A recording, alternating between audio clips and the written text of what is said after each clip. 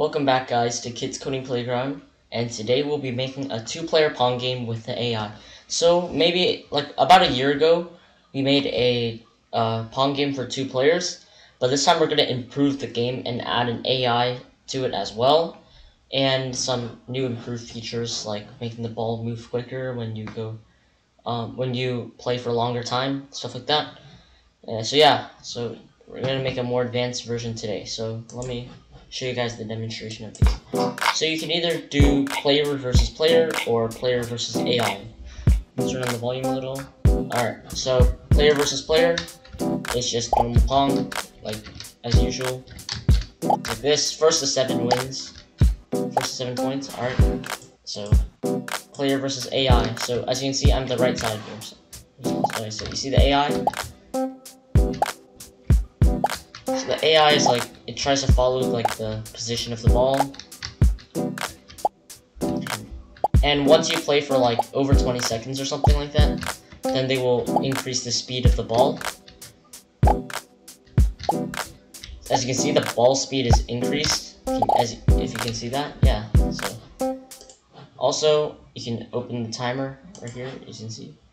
You play it Like when the timer reaches a certain amount, it resets the timer every single time uh, the point is over, but as you can see when the timer gets to 20, will, the ball will speed up. And they just get there.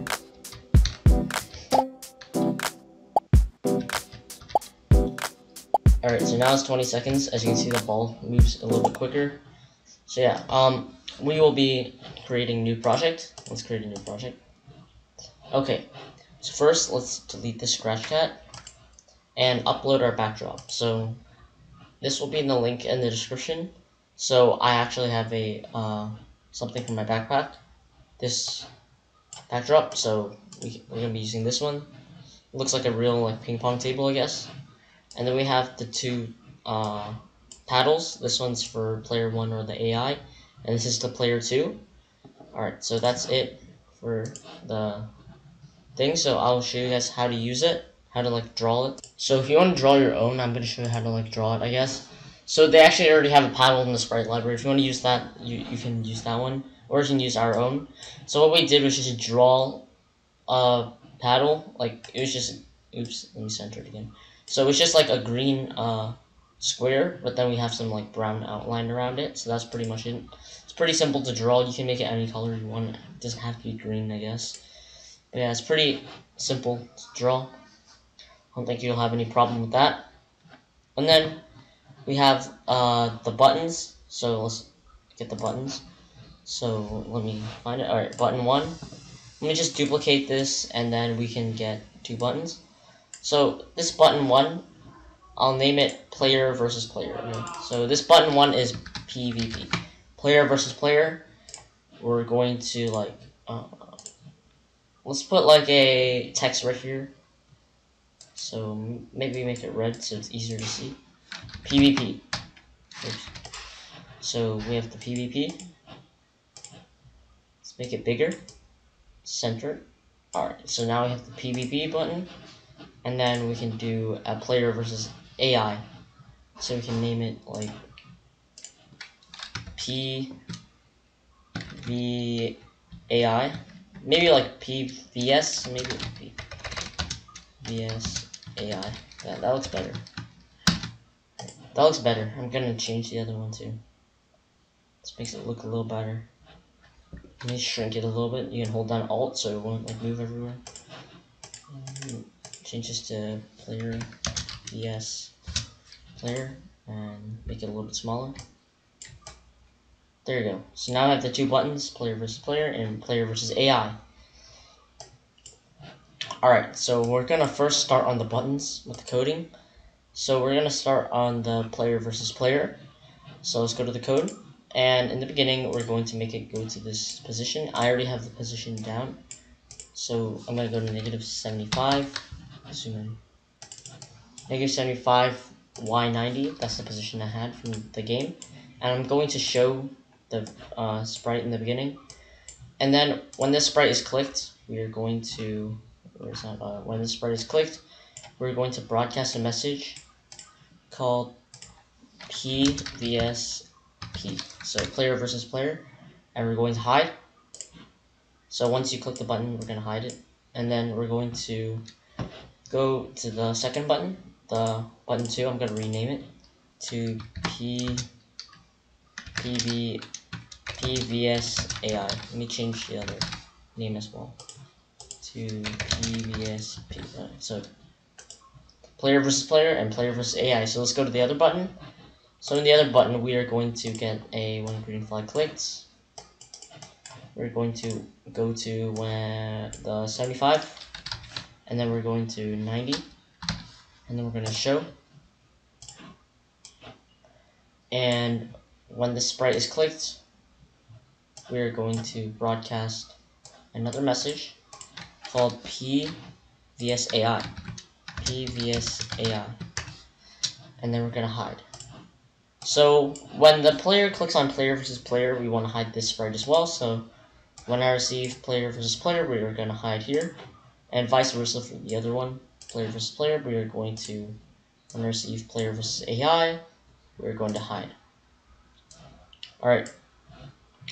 Now we can go to the paddles. Also, I forgot to add the ball. Sorry about that. We need to add the ball, obviously, so we can just get that from here. Ball. Uh, how big should it be, honestly? Maybe like 20? No, it's too small. Maybe like 50? Yeah, that's probably better. 50? 50 is probably the right size for the ball. So now we have the ball sprite. And then, so now we're going to go to our paddle, player 1 or AI paddle. So, in the beginning, actually, let's code for the ball first, because in the ball we have, uh, we have some code that we, we're going to broadcast something into the player, the paddles. So, oops, sorry about that. Alright, let's go to the ball. Now start coding in here. Okay, so now we're in the ball. Let's start coding in here. So, as you can see, I click the play button so I can make both the buttons like go to their position. So this is the position where they are. Alright, so let's start coding in here. So, when I receive the message let's see, when I receive the message player versus player, we're going to broadcast a message called start game. Start game, and then we're going to, when I receive player versus AI, we're going to broadcast start game. And then we are going to broadcast a message, another message. So we'll need this for later not for now, but it's going to be called ball position. Ball position. And we're going to make some more variables. We're going to make two variables. Player, oops, player one score for all sprites. And we're also going to make another variable called player two score. So player one score, player two score. And then, so we're going to get it when green flag clicked. We're going to set the player one score to zero, and we're gonna set the player two score to zero, and we're gonna set the size to 50%, like I have, so set the size to 50%, and then right here, we're going to, when I receive the start game, so when I receive start game, we are going to wait one second, so usually we want to wait one second so both players are ready in the beginning, so we're gonna wait one second before starting the game. And go again forever loop. So we're going to make a, remember the variable, we make a new variable called ball speed. Ball speed, so basically, the ball speed is basically how fast the ball will move. So now we have to make a uh, new custom block before we move on to this part. So we need the ball speed to make the to change the speed of the ball. So we'll need the ball speed because like remember I said when the timer increases, we will increase the speed of the ball. So that's why we'll need that. So we're gonna make a new block. We're gonna name it set up uh, ball. So set up ball. Okay. So we're gonna have to define it.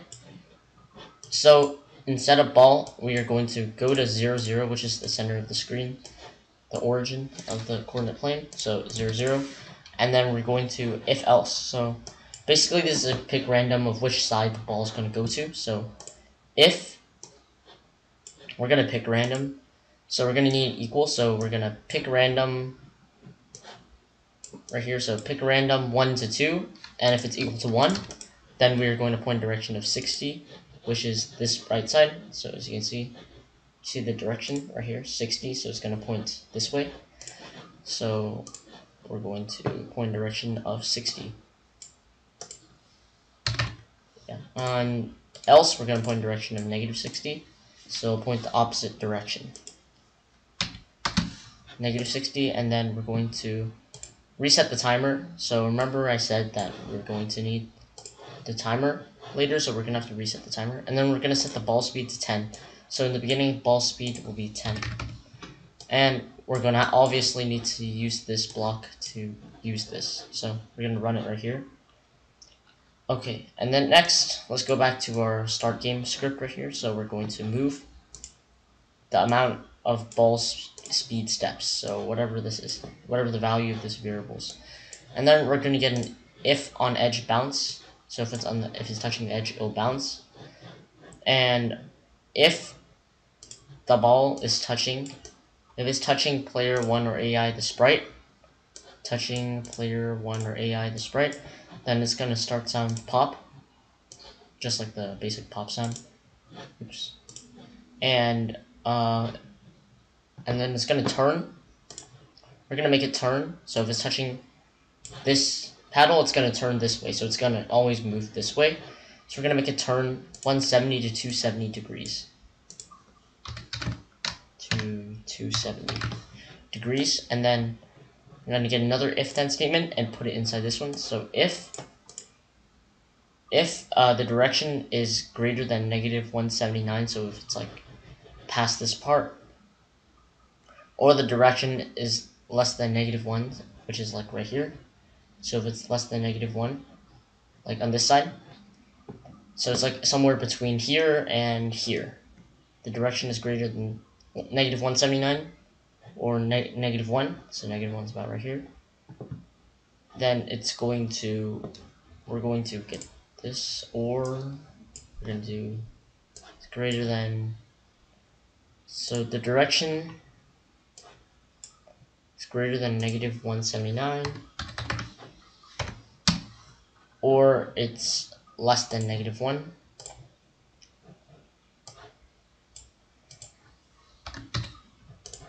direction less than negative 1, then we are going to point in direction of 60 to 145. So it'll be pointing this way. So the ball will be traveling to this side. So point direction of 60 to 145. So basically 60 to 145 would be like somewhere right here to somewhere right here. So it'd be like here to here. So like basically pointing from this side going either this way or this way. So let me set it back to 90. Okay, so and then next after this we want to broadcast the message ball position. Remember ball position? So basically ball position is just gonna position the ball like keep track of where the ball is. And then we're going to get an if then statement. So another one. So if the x position is greater than 288, 288 is like right here. If it's greater than it, so it's like towards this way. If x position is greater than 288, 228, sorry, 228, not 288. Um, we're gonna have to change the player one score by one because the ball is past this area, so that means it's touching this side. So that means player 1 will get a point. So player 1, going to have to change the player 1 score by 1, and we're to have to call the variable setup ball again after the point is over. And then we're to wait one second before starting up again. And then we're to do ball position. Basically, we can just duplicate this, put it under. If ball position, if X position, we're going to change this around. I'm going to do this so it's easier to see. So if X position is less than negative uh, 228, which is the left side, then that means we're going to change the player 2 score by 1 because they scored on player 1. And this is just the same. Alright, So this is what we have so far for this and this. Alright, so next we want to work on the ball position. We're going to receive the message. So when this sprite receives the message ball position, we're going to repeat until touching the player 1. So the ball is going to repeat until it's touching the player 1 or AI. So this is just to keep track of where the ball is. So uh, we're going to get a repeat until and then we're going to get a touching player one or the AI. And we're going to uh, make a new variable. We're to name it ball y. So ball y is the y position of the ball. So we're going to set the we're to set the ball y to the floor of y position. So basically, we don't want any decimal numbers, so we're going to round down, which is the floor. So we, we just have to get the absolute value one select the floor, which is rounding down. Oh, it's right here. It's in alphabetical order. So we're gonna get the Y position right here. So the floor of the Y position, whatever the Y position is. And we're gonna keep track of this every 0.1 seconds. So yeah. Oops, alright, uh, so basically, so that is it for the ball code. That's basically it. So I'm gonna zoom out so you guys can take a look at it gonna go down a little bit. So yeah, okay, that's and that's pretty much it for the ball. We might come back and add some other stuff, like maybe increasing the speed when the um, timer increases. Alright. I'm gonna uncheck these variables real quick, and you can do this to represent the score for each side. Alright, double click on them. Remember, you can double click on them to to that. Let me make this back to zero. There you go. So that's how you make it like that. You just have to double click, or you can just right click on it. Okay, and then next, let's go back to the uh, paddles. Let's go to the paddles. So inside the paddle for the player one or AI, I'm gonna go when green flag clicked. Zoom in a little. When green flag clicked, we're going to go to the x position negative 200 and y position of 0. So it's like right here. And then when I receive uh, player versus AI, then we are going to get a forever loop. Forever if on edge bounce. So basically the the paddle won't like go off screen, it will just like bounce on the sides. So we're gonna get a if on edge bounce and repeat until the y position is equal to the ball y. Alright, so right now we want to make the y position of the paddle is equal to the ball y because we want the AI to like be like to the relative position of the ball to try to like hit it back. So we are going to do when if the y position repeat until the y position is equal to the ball y. The y this is the y position of the paddle by the way. And we're gonna get an if else statement. So if else put in here. If y position is greater than the ball y, y position, so if the y position is greater than the ball y, so that means the paddle is like up here, and the ball is like down here, so it's like below it, then we're going to move the paddle down. So we're going to have to do change the y by negative 8, because the paddle is above the ball, so you want to move it down. Else, you want to change it by positive 8 because then the ball Y would be over, onto, like, up here, and the paddle will be down here. So you want to move the AI paddle up. And then we're going to get an if then statement. So if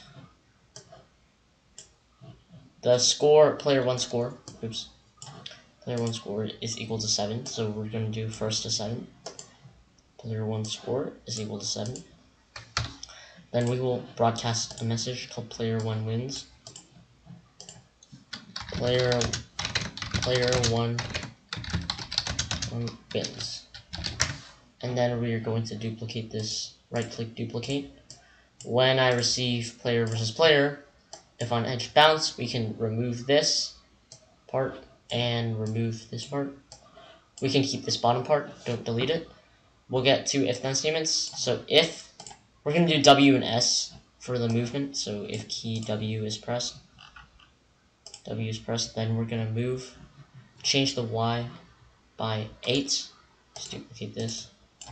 And if the key S is pressed, oops, S is pressed, then we're going to change the Y by negative 8. And we're going to put this in, in the bottom. Okay, so now we have the movement for the AI in the player 1. Let's move on to player 2. Let's go to our player 2 sprite.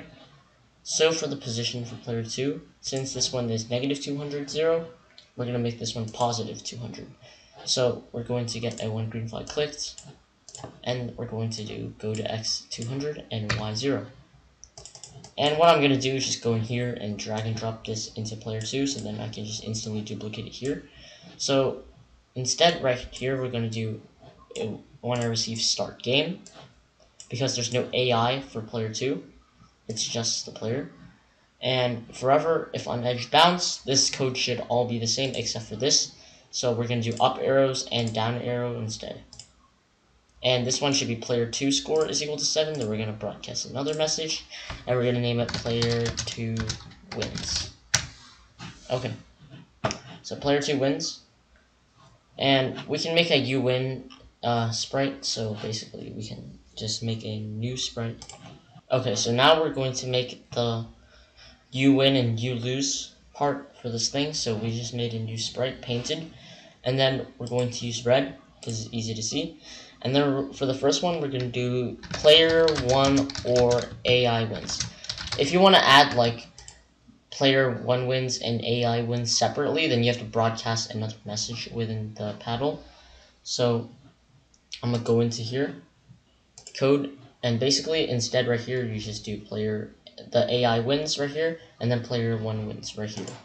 So basically, that's pretty much it. And then we're going to increase the size of this maybe a little bit bigger. And then we're going to duplicate this. This one is player one, player one or AI. And this one we will do called player two. And we're going to delete this and put player two wins. Move this right here, make it a bit bigger. Okay, that's great. Alright, so that's pretty much what we want. Let's go to the code for this thing. When green flag clicked, we go to 0, 0. So go to the center in the beginning. And then we're going to hide. And then we're going to, when I receive, player 2 wins. Then we're going to switch costume to the player 2. And then we're going to show. And then we're going to stop all. So basically, it's going to switch costume to player 2 wins if we player 2 wins. And then we're going to stop all. We're going to duplicate this, and when player 1 wins, we're going to switch costume to player 1 or AI, and that's pretty much it.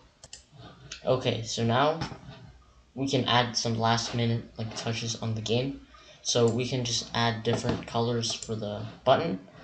Maybe we can make this one just the normal one, but this one we can make it a different color because we can uh, just make it look better in general. So we're gonna make it like maybe yellow.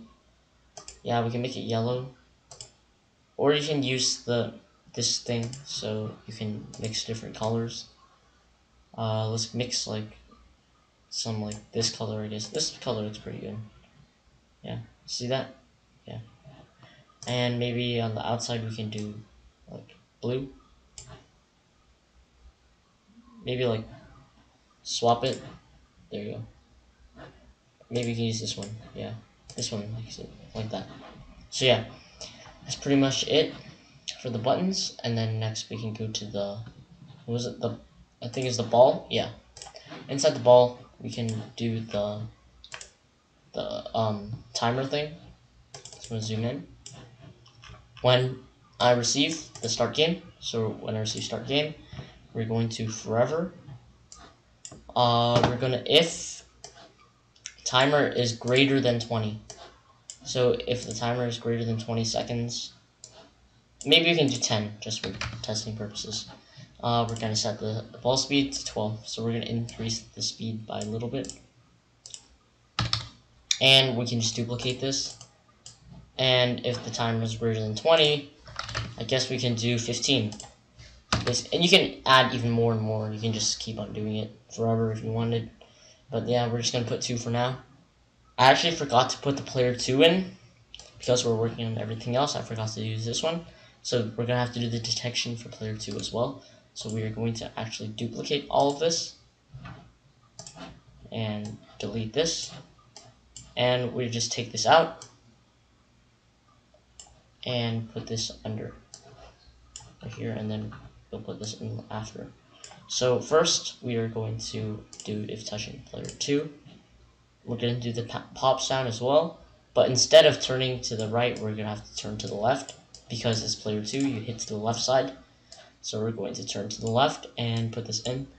And then if it the direction is like that, greater than 179 instead, because this is the other side. So we're going to have to do 179 and the direction is less than 1 then we are going to point direction of negative 60 because you have to face the left side, not the right because we're on the right side already. So we're going to do that. And then broadcast ball position, then just put this on the bottom. You can also take this out. This is not very necessary because we already have it down here. It's not very necessary for the AI. We already have it down here, so you can take that out as well. So, let's go play the game.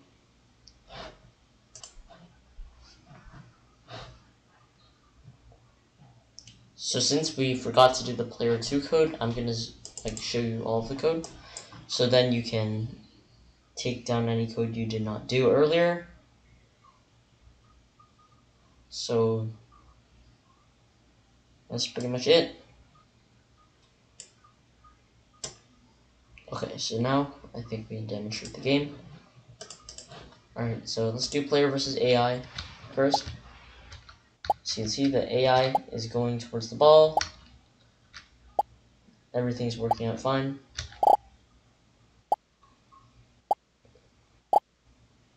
You can see, I think the ball is moving faster because the timer.